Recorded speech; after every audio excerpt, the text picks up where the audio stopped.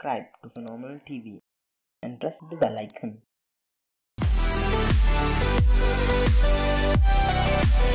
Hello guys and welcome back to another video दोस्तों, आज हम करने वाले हैं एरो के सीज़न वन का रिकैप एरो के सीज़न वन के तेईस एपिसोड निकले थे 2012 से 2013 तक। एरो के आज हम तेईस के तेईस एपिसोड्स का रिकैप करने वाले हैं। एरो के सीज़न वन का हिंदी में रिकैप आज तक किसी भी यूट्यूब चैनल ने नहीं करा तो आपको हिंदी का रिकैप आज इस वीडियो में मिलने वाला है। अब वीडियो को थोड़ा भी आगे ना बढ़ाएँ, क्योंकि अगर वीडियो थोड़ी आगे चली गई तो आपको आगे चल के परेशानी हो सकती है। सो लेट्स बिगिन हमारी स्टोरी शुरू होती है ऑलिवर क्वीन जो कि एक बिलियनर है और वही एरो है।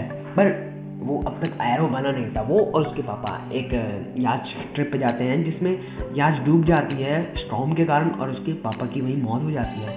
पर ऑलिवर बच जाता है और वो एक मिस्टीरियस आइलैंड पे फंस जाता है। और ऑलिवर वहाँ पे फाइटिंग स्किल्स सीखता है और बहुत सारी नई टेक्निक सीखता है और वो जब वापस आता है, पाँच साल बाद, सभी को लगता है कि वो मर गया, पर वो पाँच साल बाद वापस आता है अपने घर।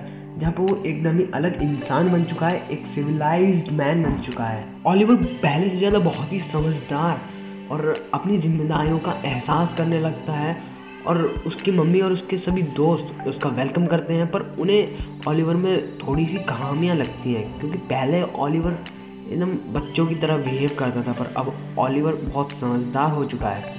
सभी ऑलिवर के बर्ताव से एकदम हैरान हो जाते हैं। ऑलिवर क्रिमिनल्स ड्रग डीलर्स और सुपर विलन को पकड़ के पुलिस के हवाले करने लग जाता है और वो अपना नाम एरो रख लेता है और वो एक सुपर हीरो बन जाता है।